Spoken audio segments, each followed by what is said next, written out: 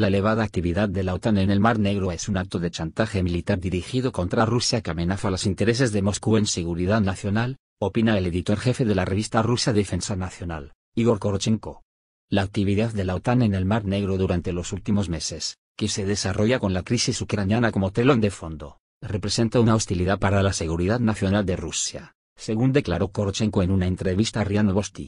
Barcos de la inteligencia de señales de los países miembros de la OTAN navegan ya casi de forma permanente por las aguas del Mar Negro vigilando Crimea, y al Mar Negro periódicamente llegan destructores estadounidenses y cruceros lanzamisiles equipados con los sistemas de combate Aegis, algo que también supone un reto para Rusia, dijo Korochenko. El experto admite que la flota rusa del Mar Negro puede vigilar atentamente la actividad de la OTAN cerca de las costas rusas. Crimea era, es y seguirá siendo una parte inalienable de Rusia y ningún chantaje militar ni ninguna amenaza harán que Rusia cambie su postura básica sobre esta cuestión, dijo. Este jueves el Ministerio de Defensa de Bulgaria anunció que del 4 al 13 de junio se llevarán a cabo las maniobras militares marítimas Brisa 2014, en las que participarán los buques de las marinas de Bulgaria, Grecia, Rumania, Turquía, Estados Unidos, un avión de patrulla estadounidense y cuatro buques de guerra de OTAN que este viernes acaban de entrar en el Mar Negro.